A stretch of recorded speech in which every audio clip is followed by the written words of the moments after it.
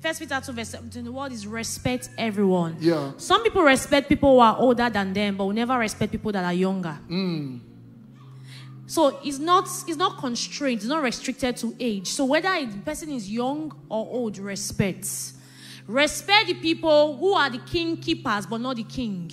True. What do I mean? Look at the story of Esther. Before Esther met a king Ahasuerus, she honored the custodian, the keeper of the king. Because you don't know who will recommend you. Honor, honor is a tool that recommends. That's true. That's what my husband was trying to say. You don't know who will recommend you. The gatekeeper, the man at the gates that are always insulting, can, can send your CV to the king That's true. can send your proposal to the king. You don't know. So Esther came, she found favor in the sight of the custodian Haggai, but she had not met King Ahasuerus. Hmm. I can imagine out of all the virgins, you know, the Haggai went to meet King Ahasuerus. There was some, there's someone that stands out out of all of them. It wasn't beauty, it was beyond beauty. You can be beautiful, but when you are dishonorable, you live a stagnant life. Kai. You can be beautiful, but when you lack honor, you will live a stagnant life, a stunted growth. So it wasn't beauty. They were the, the qualities for bringing wives for King Ahasuerus that they should be beautiful, hmm. beautiful virgins. Hmm. So it wasn't the virginity that also made that get to King Ahasuerus. because you can be a virgin, but if you lack honor, you stay there. True. So she, she had the beauty, she had the virginity, the purity, she also had honor. Hmm. Because virginity without character will lead you nowhere. Beauty without character will lead you nowhere. So she had all of it put together and she found favor. So I could imagine Esther running to the king, you know, I mean, the, the custodian running to King Ahasuerus and say, See, there's someone that stands out. Honor always makes one exceptional. True. Why people are all in the I mean there's a there's a full crowd, multitude, but what makes you stand out is not beauty alone, is honor. Honor makes one stand out.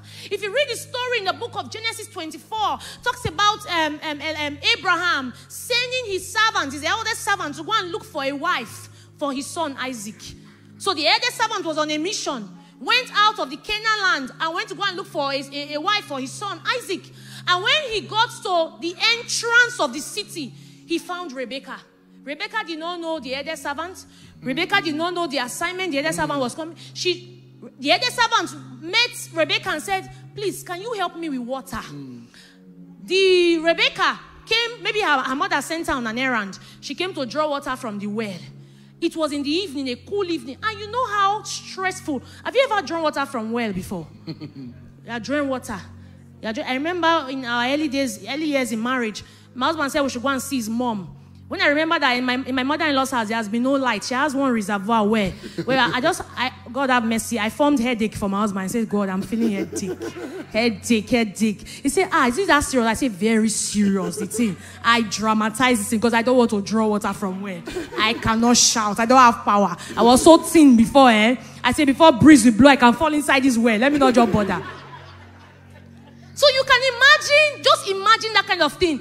Rebecca drawing water from where? Probably the mother was cooking different. She was in, on the queue drawing water. And then this man, this stranger from nowhere just appeared. With camels. He, he didn't even ask for water for only himself. He asked for camel. That one was so annoying. Mm. For his stay, how many camels? I can't even remember the numbers.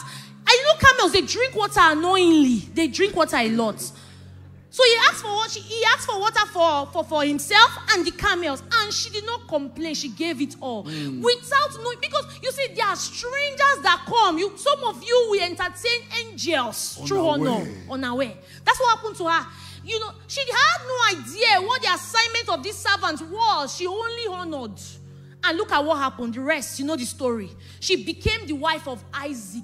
It was just that was the only endorsement that was needed from the servants to know that this one is the one for. So, so, so there are some of you like that. You have missed golden opportunities. Because why?